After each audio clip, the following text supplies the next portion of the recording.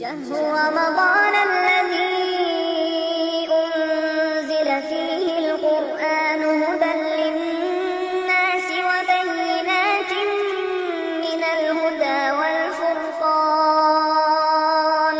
فمن شهد منكم الشهر فليصم. আসসালামু আলাইকুম রহমতুল্লাহ বরকাত আমাদের এক ভাই জানতে চেয়েছেন যে, বর্তমান যুগে দেখা যাচ্ছে যে কমই কিছু আলেম কিছু লোককে আপনার কাফের ফতুয়া দিয়ে বেড়াচ্ছে। তাদের মধ্যে কেউ কেউ আছে কিছু ইসলামী দল করে, আর কেউ আছে ফিল্ডের মধ্যে দাওয়াতি কাজ করে বেড়াচ্ছে, যেমন জাকির নায়েক আছে এরকম কিছু ব্যক্তি। সুতরাং এই যে তাদের অপ তৎপরতা সেটা কি শরীয়ত আপনার জায়েজ রাখে, না শরীয়তের দৃষ্টি গিয়ে ব্যাপারে। আমরা বলব যে কোনো ব্যক্তি যদিও সে মনে করে, যেমন কাজ করে ফেলেছে যে সে ধর্মের অধীন না, অথবা ধর্মের কোনো শরীয়তের যে উক্তিগুলো আছে কোরআন হাদিসের নস আছে সেটার বিপরীত এটা তারপরেও আপনার কাফের হওয়া সাব্যস্ত করে না।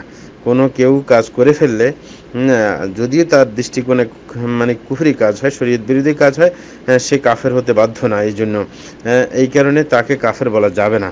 হ্যাঁ কারণ হ্যাঁ, যতক্ষণ পর্যন্ত সেটা একবারে নিশ্চিতভাবে কোরআন হাদিসের দৃষ্টিতে আপনার কুফরি কাজ বা কথা না হয়ে থাকে। কারণ কুফরের ব্যাপারটা কারোর আপনার মতের উপর নির্ভরশীল নয়, কারোর রুচির উপর কারোর আপনার কুপ্রবৃত্তির উপর নির্ভরশীল না, সেটা একমাত্র নির্ভরশীল কোরআন হাদিসের উপর। সুতরাং কোরআন হাদিস যতক্ষণ পর্যন্ত সুস্পষ্ট না হবে, কোনো ব্যাপার, কোনো কথার উপর, কাজের উপর যে চূড়ান্তভাবে এটা কুফরি কথা তখন পর্যন্ত সেটা কুফরি সাব্যস্ত হতে পারে না। এবং কোনো ব্যক্তি এই জাতীয় যে কুফরি কাজ করে ফেলেছে, কুফরি কথা বলে ফেলেছে, তারপরও সে কাফের হবে না। যতক্ষণ পর্যন্ত আপনার তার কোনো মাওয়ান না থাকে যে হইতে পারে, মূর্খতার কারণে বুঝে উঠতে পারেনি, অথবা কোনো বিপরীত নস থাকার কারণে তার বোঝা অসম্ভব হয়ে পড়েছে এই জাতীয় অনেক কিছু থাকতে পারে। সুতরাং আপনার কেউ করে ফেললেই তা সে কাফের হতে বাধ্য না। হ্যাঁ, কারণ তার তাবিল থাকতে পারে। সে এই ব্যাপারটা মানে হঠাৎ করে কাউকে কাফের বলে দেওয়া এই ব্যাপারটা কিন্তু কমি আলমদের মধ্যে আগে তেমন একটা ছিল না। কিন্তু ইদানিং যখন তাদের আপনার আহ, মতপথের বিরুদ্ধে যখন চলে যাচ্ছে, তখন তারা পাগলের মতো বকাবকি করছে। এটা হচ্ছে আসল ব্যাপার। নতুবা তাদের অভ্যাস ছিল না। আর যাদের ব্যাপারে তারা কুপুরের ফতুয়া দিচ্ছে, অধিকাংশ দেখা যাচ্ছে বা যারা ফিল্ডের মধ্যে শুধু তারা নয় যারা অন্যকে কুফুরি ফতুয়া দিয়ে বেড়াচ্ছে, তাদের অনেককে দেখা যায় যে তাদের কিছু আংশিক কথা বলে তার উল্টো ব্যাখ্যা দিয়ে যেটা আপনার যেই লোকটা বলেছে তার অন্যান্য কথার সাথে না মিলিয়ে হ্যাঁ হঠাৎ করে কোনো একটা হ্যাঁ, ব্যাপারকে সামনে নিয়ে এসে আপনার কুফুরি কুফুরি ফতুয়া চাপিয়ে দেওয়ার চেষ্টা করা হচ্ছে। কিন্তু এটা একেবারেই অমূলক একটি কাজ। না এটা যদি করা হয় তাহলে বিশ্বের বুকে কোনো দায়ী আপনার মুসলমান থাকতে পারে না। সবাইকে কাফের বলা সম্ভব। কারণ একজন মানুষ যখন কোনো কথা বলে তখন সে তার চতুর্দিকে সে ভাবে না। হ্যাঁ, কারণ সে তো এমন না যে আল্লাহর মতো যে আল্লাহ কোনো কথা বলতে গেলে সার্বিক ব্যাপার চতুর্দিকে তিনি হ্যাঁ, চিন্তা করে বলেন যে কেমত পর্যন্ত যেটা নিয়ে মানুষে সার্বিকভাবে গ- গবেষণা করবে যেন কোনোভাবে সে পথভ্রষ্ট না হয়। কিন্তু মানুষ মানুষের পক্ষে সেটা সম্ভব নয়। সে সরাসরি যেটা বুঝাতে চায় সেটাই আপনাকে বুঝতে হবে। তার কথা থেকে অন্যভাবে বুঝে তার উপর কথা চাপিয়ে দেওয়া সেটা কখনো হ্যাঁ, আপনার আমার জন্য জায়জ হবে না। বরং তার যদি এটা বুঝতে হয় তাহলে তার অন্য সময়ের অন্য বক্তব্য এই সংক্রান্ত বা এর পাশাপাশি এটার সাথে সম্পৃক্ত অন্যান্য বক্তব্য শুনতে হবে।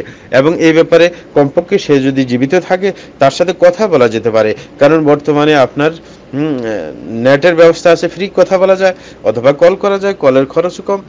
সুতরাং আপনার এই ব্যাপারে সরাসরি তার সাথে কথা না বলে তার কোনো একটা বক্তব্যের অংশকে সামনে রেখে আপনি তাকে কাফের বলে দেবেন, সেটা হতে পারে না। এই ক্ষেত্রে কাউকে কাফের বা ফাসেক বলার ক্ষেত্রে দুইটা কথা আপনার খেয়াল রাখতে হবে সবসময়। একটা হাদিসে, কোরআন হাদিসে এই ব্যাপারে নিশ্চিত হতে হবে যে এটা আসলেই কুফুরি কথা বা কাজ অথবা ফাসিক কথা বা কাজ। দ্বিতীয় নম্বর হচ্ছে যে কোনো ব্যক্তির ব্যাপারে বলতে হলে তার তা- কাফের বলার যে শর্তগুলো আছে সেগুলো পাওয়া যেতে হবে এবং ফাঁসে বলার শর্তগুলো পাওয়া যেতে হবে। সাথে সাথে তার কোনো আপনার বাধা বিপত্তি আছে কিনা তার কোনো সমস্যা আছে কিনা যে সমস্যা থাকার কারণে তাকে কাফের বলা অসম্ভব সেগুলা না থাকতে হবে। যদি এরকম কোনো ব্যাপার থাকে যে তাকে সেই কারণে কাফের বলা মুশকিল আহ, তাহলে যেমন একজনের শিক্ষা দীক্ষা কম হ্যাঁ, অথবা তার জ্ঞানের সংকীর্ণতার কারণে তার ধারণ ক্ষমতা কম হওয়ার কারণে সে বুঝতে পারেনি। এরকম কোনো নসের ব্যাপারে তার আপনার বুঝের আপনার বিভ্রান্তি ঘটতে পারে। সুতরাং এই ব্যাপারে আপনি হুটহাট করে কাউকে কাফের বলে দিলে সেটা তো ঝামেলাকর হবেই এবং সমস্যা হবে। এই ক্ষেত্রে আপনার একটা হাদিসের কথা আমরা মনে করিয়ে দিতে চাই। সেটা হচ্ছে বোখারি বোখারের হাদিস হাদিস নম্বর ছয় হাজার একশত চার, মুসলিম সাহেব হাদিস হাদিস নম্বর ষাট।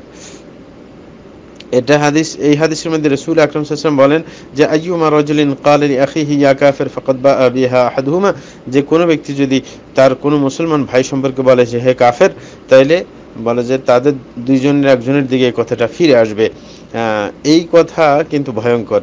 এটা খারাপ কিছু বোঝায়। সে যদি কাফের না হয়, তাইলে আপনার দিকে সেই কুফরির আপনার অপবাদটা ফিরে আসবে। তার আপনার শাস্তি ভোগ করতেই হবে। এমন না যে আপনি সাথে সাথে কাফের হয়ে যাবেন, এমন ব্যাখ্যা নয়। কিন্তু আপনার সেটার অবশ্যই পাপ বহন করতে হবে এবং একসময় সেটা আপনার এইরকম আচরণ আপনাকে কুফুর দিকে পৌঁছে দিতে পারে। এরকম অনেক ব্যাখ্যা আলমরা করে থাকেন। আর যদি হালাল মনে করে, যে কাউকে কাফের বলা হালাল মনে করেন, তাইলে কিন্তু ঝামেলা আছে। তখন নিজেই কাফের হয়ে যাওয়ার সম্ভাবনা বেশি থাকে। সুতরাং এই সমস্ত ব্যাপারে আমাদেরকে অবশ্যই সতর্ক থাকা উচিত। যে যেই কোনো ব্যক্তি, যেই কোনো ব্যাপারে যদি দেখেন যে একজনের কথা, আমরা নিজেও দেখতে পেয়েছি। যাদেরকে আমরা চিনি হ্যাঁ ছোটকাল থেকে যাদেরকে আমরা চিনি দেখা যায় যে এদের সম্পর্কে একজনে ফতুয়া দিয়ে বসল যে সে কাফের। অথচ তাকে চিনি, তার অনেক বক্তব্য আমরা শুনেছি। সুতরাং এভাবে বললে তো কোনো মানুষ শেষ পর্যন্ত মুসলমান থাকা অসম্ভব হয়ে পড়বে। এই কারণে আমরা সবাইকে আহ্বান করব, যেই কোনো ফেরকা হোক না কেন মানে ইসলামের নামে যত ফেরকা আছে প্রত্যেক ফেরকা মতের সবাইকে আমরা আহ্বান করব যে এই ব্যাপারে আমরা যেন সতর্ক থাকি। যদি কোনো কথা মনে হয় যে আপনার সেই কথা বা কুফরি কথা তাহলে সেই কথা ব্যক্তির উপর কাফের ফুতুয়া না দিয়ে সেই কথার বিরুদ্ধে আপনি বলেন কোরআন হাদিসের দৃষ্টিকোণ দেখান যে সমাজের মধ্যে এই কথা কেউ কেউ বলে থাকে সুতরাং এই কথা কুফরি কথা এটার প্রমাণ এটা সেটা। হ্যাঁ, অনেকে সংকীর্ণতার কারণে বিপরীত লোকের প্রমাণ সুস্পষ্টভাবে মাথা ঠান্ডা করে বুঝতে না চেষ্টা করার কারণে এবং তার মূর্খতার কারণে এবং তার আপনার জ্ঞানের আপনার স্বল্পতার কারণে অনেকে ফুতুয়া দিয়ে বসেন। আমাদের হাস্যকর। অনেককে আমরা চিনি যারা এরকম ফুতুয়া দিয়ে বেড়াচ্ছেন, তাদেরকে ছোটকাল থেকে আমরা চিনি যে তারা কি জাতীয় মানুষ। কতটুক জ্ঞান তারা আপনার ধারণ করে আছেন হ্যাঁ তাদেরকে আমরা চিনি। হ্যাঁ যে তারা হুটহাট করে আরেকজনের ব্যাপারে ফতুয়া দিয়ে বসেন। হ্যাঁ সুতরাং সতর্ক থাকা উচিত। যে নিজের জ্ঞানের স্বল্পতা, সেটা স্বীকার না গিয়ে সেটার ব্যাপারে নিজের লজ্জা থাকা দরকার। সেখানে লজ্জা না করে আরেকজনের ব্যাপারে মানে কথা চাপিয়ে দেওয়া এবং দাপট দেখিয়ে বেড়ানো হ্যাঁ যে এত স্বল্প বিদ্যা নিয়ে, সেটা আসলে হাস্যকর ব্যাপার। খুবই হাস্যকর ব্যাপার। অনেক সময় হাসি পায়। নিজে, কিছু না বলে নিজে বসে বসে হাসতে হয়। এমন কিছু আলেম আছে আমাদের সমাজের মধ্যে যারা এরকম আপনার কাফের ফুতুয়ে দিয়ে থাকে অন্যজনকে। তখন নিজে হাসা ছাড়া বসে বসে আর কোনো আমাদের উপায় থাকে না। আল্লাহ সবাইকে আমাদের হেদায়ত দিন। জাজাকুল্লাহ খেরা